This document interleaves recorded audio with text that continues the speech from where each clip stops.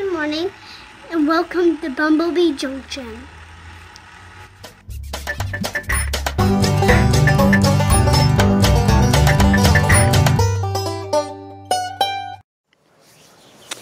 Hi guys and welcome back to the channel. Now we are trying to get the bucket garden all filled up and I do have a few peppers that I would like to get in and yeah they're one of my favorites. I know they are Mark's too but there's so many wonderful ways to use them but I am going to go and get a couple of buckets. I'm going to get a couple of buckets of dirt and yeah, we're going to go play in the bucket garden. So hold on, I'll be right back.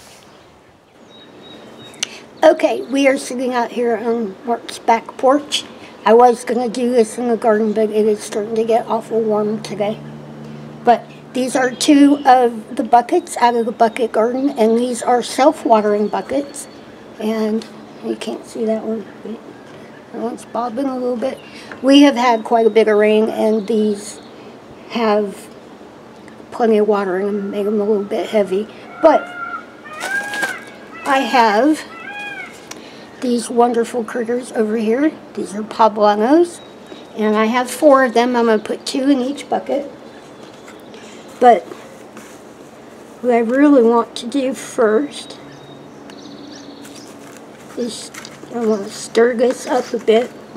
This is still really, really nice and soft. But before I plant anything else in it, I would like to recondition it a bit.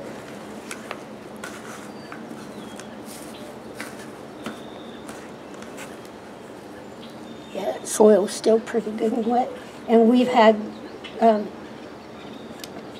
some really good luck with these buckets, and we really enjoy them. I think I got that stirred up pretty good. Now, do you want to add a little bit of Jobe's in here?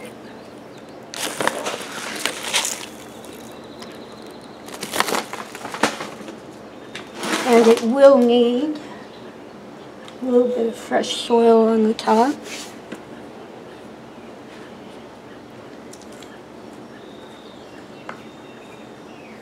I don't want to get it up way too high. I do still have to get these two plants in here.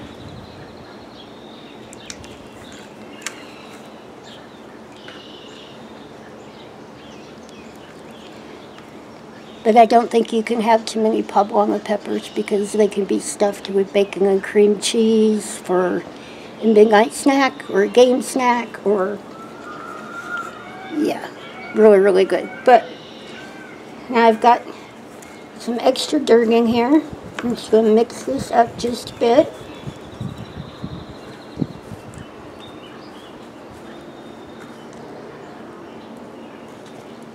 Make sure to stick a plant tag in here because there there are tags that go on these and I can't find the replacement ones. I put it somewhere safe and um, yeah I can't find them now.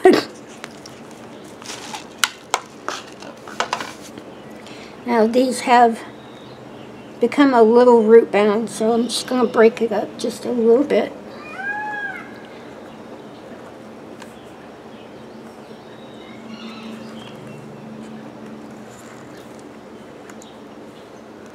take the couple of very small bottom leaves.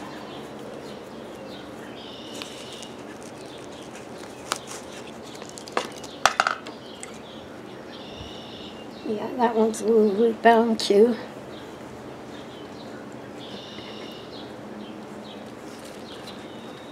Now I did overwinter and get pepper plants to go dormant and some of them have woke back up but it tends to work a little bit better for um, any kind of bell pepper. And the hot peppers don't come back quite as often as as the bell peppers do but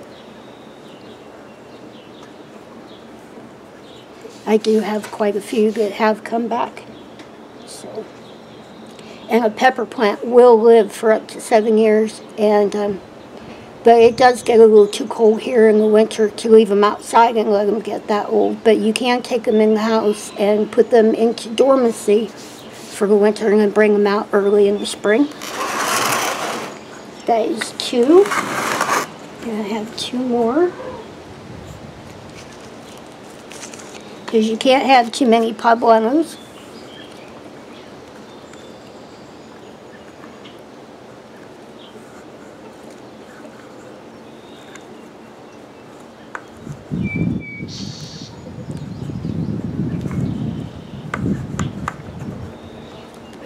See, I only have one more left here.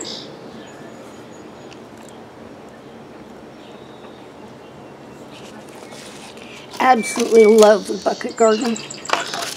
If you haven't got the plans for the bucket garden, um, just send Mark an email and he will gladly send you plans for it. You can grow quite a bit in a very small space, very little weeding.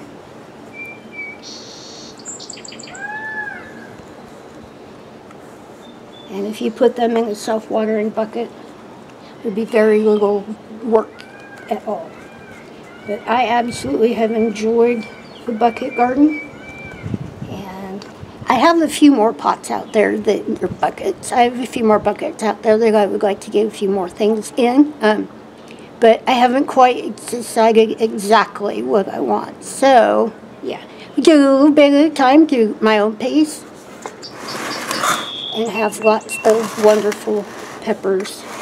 Yeah, you can see that one's, oh, moving over on camera. You can see that one bobbing around in there a little bit better now. Um, now I will put some water on these anyway, top water them a little bit. Um, it is an awful warm day and certainly won't hurt them to get a little bit more water. But I'll get these carried over there, then I'll show you what I've got going on in the bucket garden, and um, I'll be right back. We are over here at the bucket garden. I have brought the poblanos out and put them up here on top.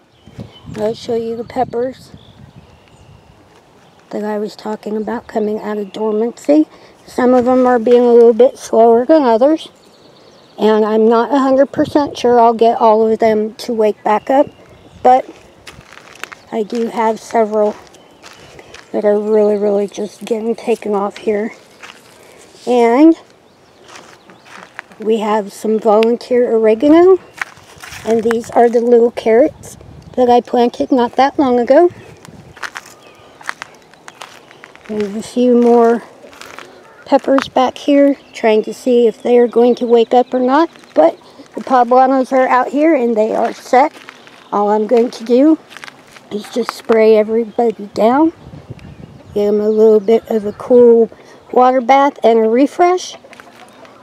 And that will be about all I'm going to plant out here until I know what some of the rest of these other peppers are going to do. Okay, um, glad to have a few extra peppers in the bucket garden. Now, we have really, really enjoyed having a bucket garden, and um, yeah, Mark and his dad did an absolutely wonderful job getting it built, and the, the self-watering buckets have been a, a welcome addition. You would be really, really surprised what you can grow in a five-gallon bucket. But, yeah, if you want the instructions. Just let Mark know. Anyway, I am going to go ahead and get on out of here. Um, can never have too many peppers, but it is getting a bit warm and um, it is time to take a break. If you're not subscribed to the channel, please subscribe. Don't forget to ring that little bell. It'll let you know when I'm out here, yeah, trying to turn the world green about any shade of green. If you have any comments, questions, suggestions, anything at all in your mind, please put them in the little box below. And if you enjoyed today's video, please give it a thumbs up. But yeah, it is time to get in, cool off, but really, really glad that you chose to spend a few moments of your day with me. And don't forget, we love you, and we'll see you in the next one.